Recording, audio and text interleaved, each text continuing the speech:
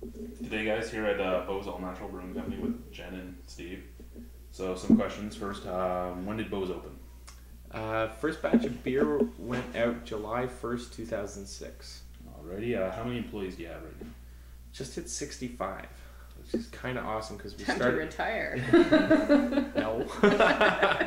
It was- when we started off, there was just five of us, and that was six years ago. So the the amount of change in a very short time is has been kind of kind of bizarre. Now, we usually go into a, a lot more detail on the brewery itself, but uh, truthfully, what I want to talk to you about, you're all natural, so your greener initiatives, because I did see the some of the solar stuff out there and all that, and I we've talked a little bit about your greener future project Yeah. and all that. So uh, yeah, first let's talk about that. What's your environmental initiatives here? Uh, I, I guess the the first thing I like to always point out is that to me sustainability is more than just carbon footprint. Uh, we've got a, a goal of being a truly sustainable brewery, which means we want to be uh, a neutral impact or a beneficial impact on, on the environment around us, uh, and that includes not just not just the you know the, physical environment, but also the community we live in. Uh, so we've got very aggressive donation targets, very aggressive giving targets to uh, a number of, of community initiatives and worthwhile causes, uh, but specifically towards um, you know the physical environment. Um, you know, being certified organic was obviously a, an obvious and, and first step. Um, uh, things that probably most people don't ever notice are things like the, the Mhm. labels being, you know, completely. Uh, the original version was completely tree free. Uh, they were made out of a cotton fiber. Uh, we had to switch to a 100% recycled version. Um, the box that the beer comes in is 100% recycled, 75% of which is uh, post consumer, um, which is the highest threshold that that is available. Um, if we could find 100%, we'd do it. um, and we were able to get it for the labels. So. and yeah, for the labels, we can do 100% post consumer, but the, the box is 75%. Um, the whole design of our four pack was was based around minimizing uh, waste for for the beer. So in that little four pack, you get 17% more beer than a regular six pack with dramatically less packaging waste. There's less glass. There's less you know caps. The using pry off instead of twist off uh, allows the bottle to be reused uh, dramatically more often because it's always the threading that, that goes first on a on a bottle. Um, all of the the marketing materials, the posters we do, they're all post post consumer, hundred percent, um, and the design around the brewery was intended to make post consumer stuff look good by using that you know sort of earlier era imagery and, and simple simple color schemes. Um, you don't need high gloss paper. You don't need four color prints. And when you need high gloss and four color prints you have to use virgin paper so before we started designing for the brewery uh, we took a look at what was best for for the impact on the environment um, we are trying to solar panel the entire brewery with our Greener Futures program. Uh, we were the first company in Eastern Ontario, not the first brewery, but the first company to uh, have an energy assessment done by the uh, Guelph Food and Technology uh, Sustainability Division. Um, and uh, it's just something we, we don't take for granted is the you know the world that we live in and the fact that beer requires clean water and quality malts and quality hops. Um, it's one of these funny things where you can say that we're doing this for completely altruistic reasons, but in reality, I think it's you know it's an understanding that if 300 years from now we want to make good beer, we need clean water to be able to do that. So it's I think we're just taking a long view of, of the world that we live in more than more than anything else.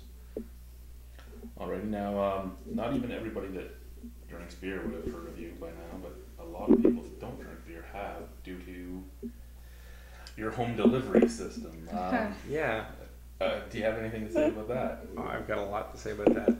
Um, uh, this is again, it's it's one of the things that you know, for us, sustainability means uh, a sustainable community, um, and uh, so we do a lot of work with with a number of charities. But uh, there's one charity in particular we've done a lot of work with, and that's uh, Operation Come Home. It's an Ottawa-based uh, homeless youth business. So they their goal is to prevent homeless youth from becoming homeless adults, and they do a lot of very innovative programming, um, and that allows them. And they've got a very creative uh, sort of background behind them, um, and they've really sort of embraced, I guess, what would be called social entrepreneurship. And so they'd originally approached us I guess maybe about four or five years ago, and they wanted to start a uh, empty bottle return program, and they wanted to know could they if they collected bottles, would we take them back at the regular deposit? And we said no, uh, we'll give you two dollars a bottle instead of you know the, the twenty cent deposit that was on the bottles. Those are for the ceramic ones that you know for us we would be paying two dollars for them if they were new. So getting them back for two dollars was was great. and uh, so we started. up We had a great relationship that started there, and then uh, they called us up and said, "We're trying to find a way to expand this program. What would you think about a program where instead of people having to drop off the bottles at at a uh, depot, that we started a, a pickup service where we go house to house. And I said, well, if you're serious about that, that's what you want to do. Wouldn't it make a lot more sense if you delivered beer when you picked up the empties? Because there's a lot more money in delivering beer than picking up empties. And so we had this really cool idea. It took us months and months and months to develop the the protocols around it because uh, it is homeless youth that are employed by the service, and a lot of homeless youth have a lot of addiction issues. So we had to make sure that you know they were supervised 100% of the time by social workers that um, and other bottle delivery services don't do this but we made sure every single one of them got their smart serve papers um, that they you know had the you know the most promise to to get back on their feet and very rigorous program. And then you know and the amount of paperwork to make sure that all of this was in place every time.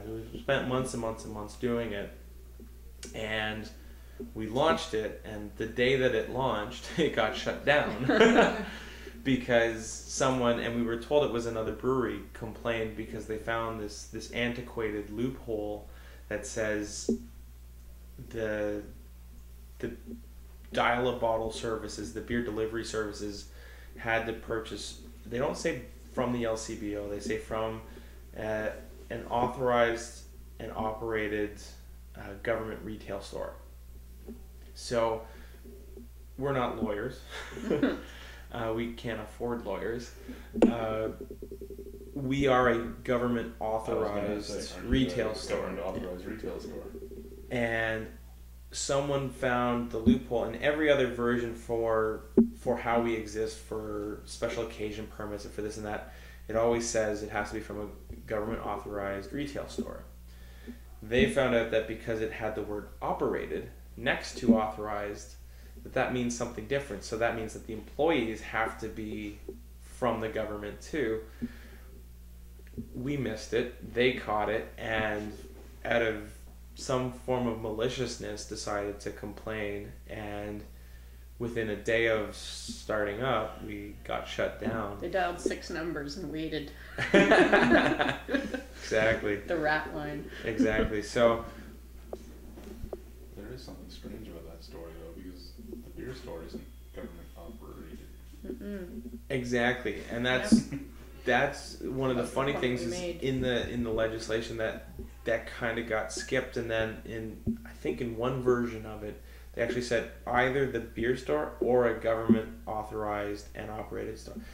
And to me, that when I read that, it meant even more so that that must mean that we're okay to do this. If the beer store can do it, which is owned by a couple breweries, there there can't be a reason why our brewery can't do the same. Um, turns out I was wrong. so it got shut down, and in retrospect, that's probably the best thing that could have ever Yeah, happened. that was all over the internet, all over TV. It was I I was in Victoria a couple months ago for a beer festival, and every third person coming to the booth in BC was coming up and asking about what happened with the, the bottle return pro or the, the bottle delivery service. Um, it took a total of eight days. Um, there was after three days, uh, Premier McGuinty was getting questions in, in the House of Commons, and within eight days they literally changed the laws in Ontario to allow this service to, to get back up and running. And we got the news Friday at 4 p.m. We were actually in the middle of a staff meeting and the whole and so like the whole brewery's here and we had this this moment where um, Steve was talking. He was sort of, you know, talking to the entire staff, and then he looked down at his cell phone and said, "I've got to take this one." I walk away and it was it's uh, it was our MPP on the phone saying guess what? We we got the law changed you're back up and running. And so I walked back out and I'm like hey everybody this just happened. And the everybody in the the whole brewery just just erupted in cheers. And it was one of these like really special moments. And uh, by the following Monday the service was back up and running and um, it's one of these things uh, it's not for us it's not a huge revenue stream. Um, don't get me wrong it's it's a I'm not complaining. It's a, it's another revenue stream for the brewery. Um, and it's also for a lot of our customers who live in Ottawa that don't have access to a vehicle or don't have time to drive an hour here and an hour back they actually get access to our beer. And that's a big issue for me is Yeah. you know making sure that people that want our beer can actually get it um, but then on top of that and to me the, the really special part about this is um, the success stories with, with the youth that have been involved. We've got uh, one guy that was hired by the service um, that has taken the experience there developed a resume got a place to live and is now working full-time for another delivery service.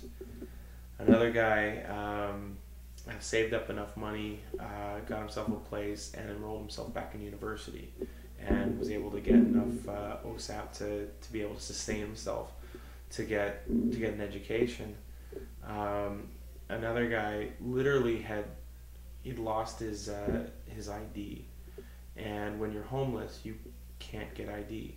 So being able to get a job to pay for a place allowed him to get ID, which is going to allow him to have a life again. You know, and uh, th- we've only been running this for less than a year now, and th- these are three people's lives that are dramatically changed by it. And uh, you know, it's uh, it's one of these funny things where we get all the benefit of extra sales and access for our customers and all this.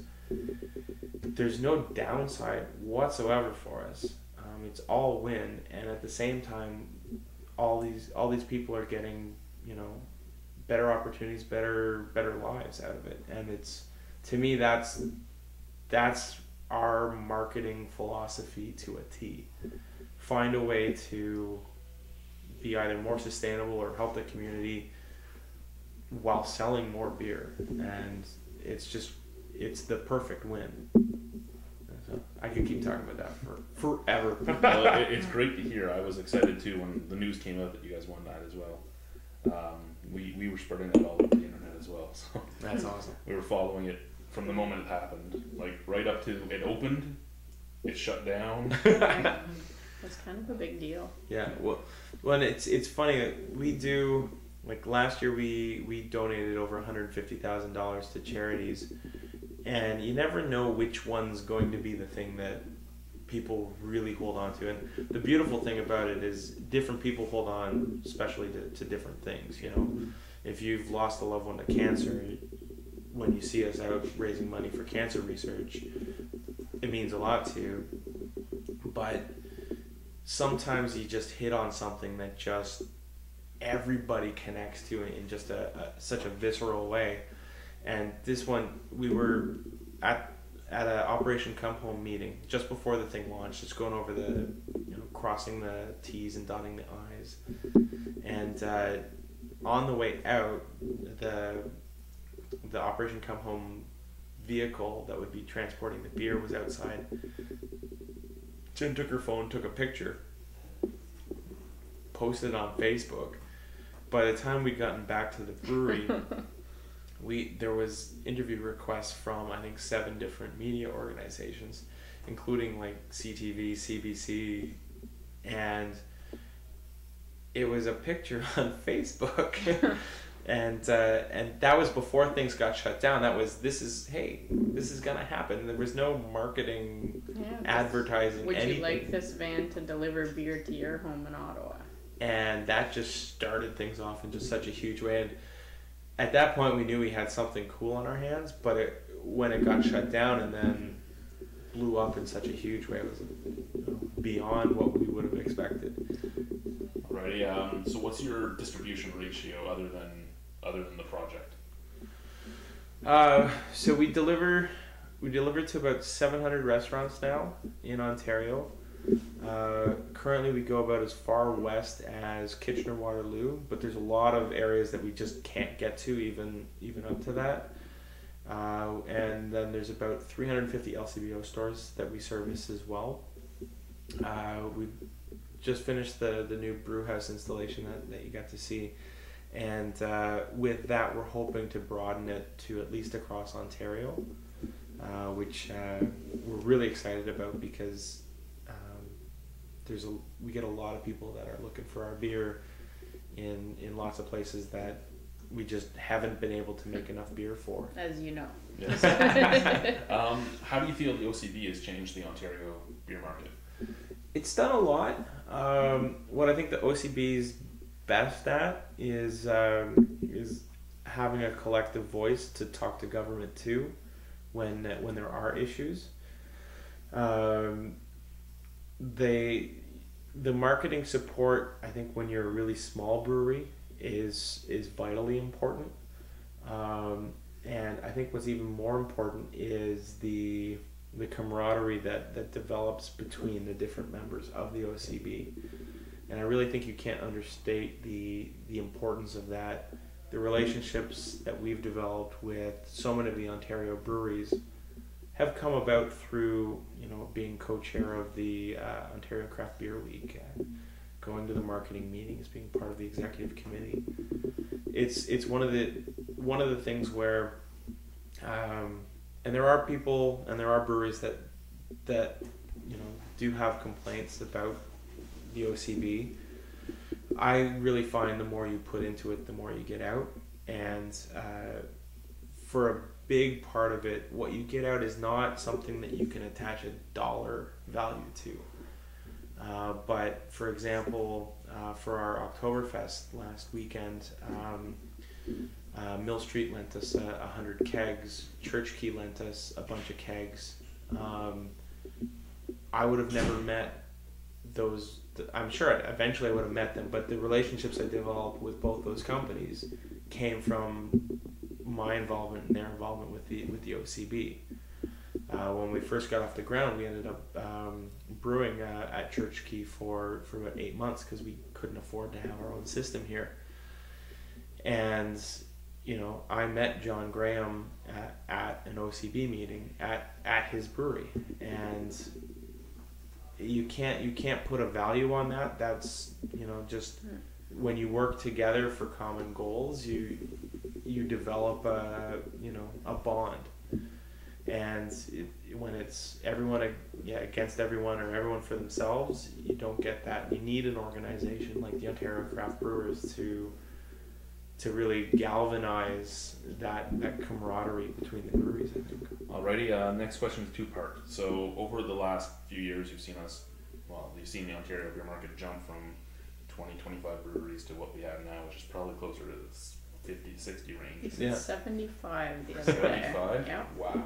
Okay, um, so what are your feelings about contract breweries? Because one, that's a big part of the new number we're at now? And two, what do you think has changed in the market that has let us explode to where we're at now? So contract breweries, I I think it's a great way for someone that's got a great idea but not a lot of money to get into into brewing.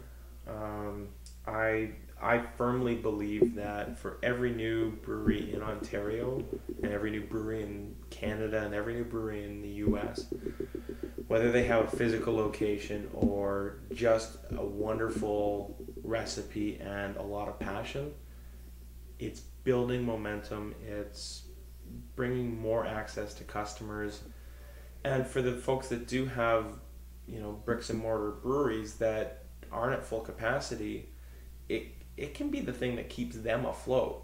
And I think a lot of people talk poorly of contract breweries without realizing that a lot of physical breweries would not exist if they didn't have the opportunity to do some contract brewing.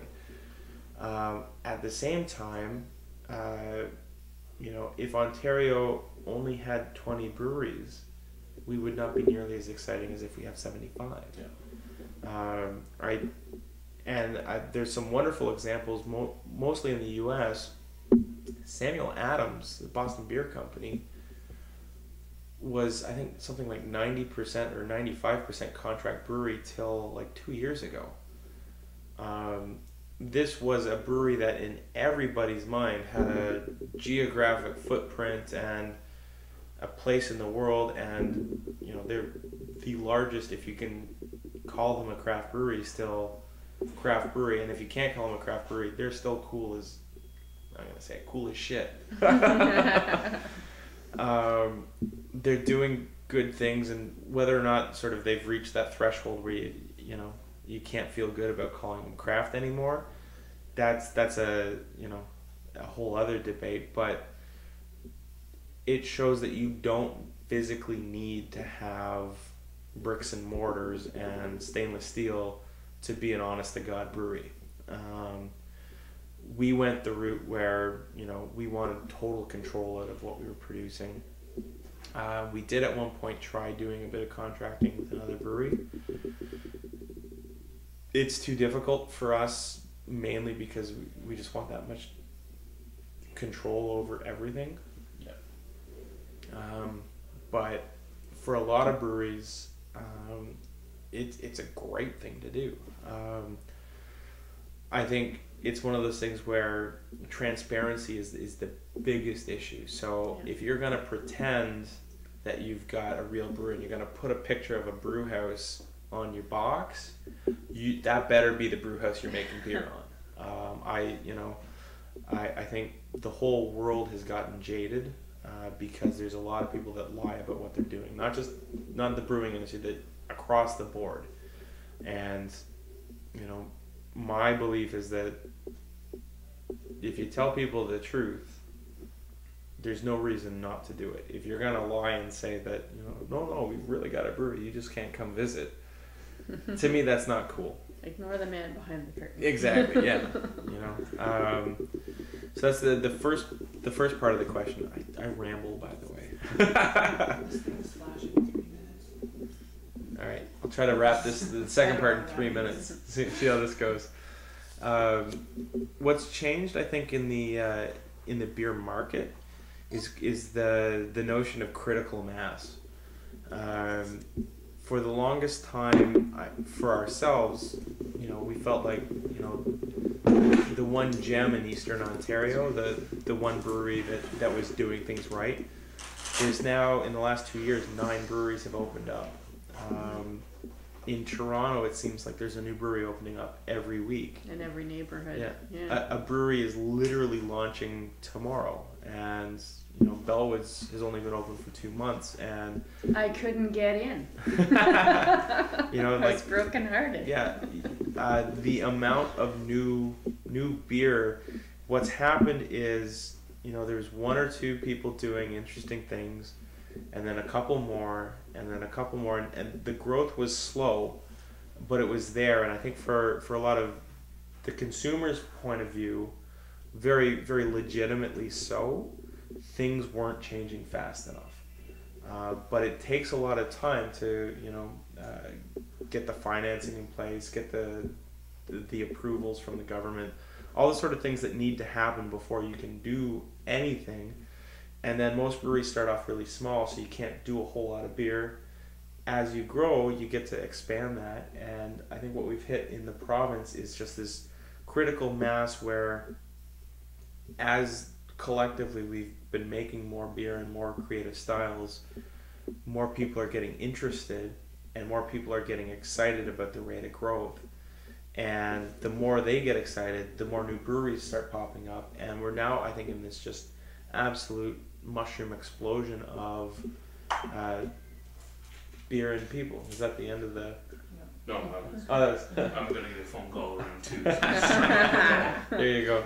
Uh, you get this this great kind of circular thing feeding where the more breweries there are out there, the more people get excited about the beer that's out there. The more people get excited, the more restaurants recognize that this is a big thing. The more the LCBO gets gets to recognize it's a big thing, and then it spins right around, and that gets more people, and then those people get more restaurants, and then those restaurants spawn more breweries, and those breweries get more people, and uh, we finally hit that point where things are changing dramatically quick now. And uh, on a very small scale, we saw that in Ottawa. Yeah. Um, when we first first got our, our first restaurant on Elgin Street, you know, it was it was a tough sell.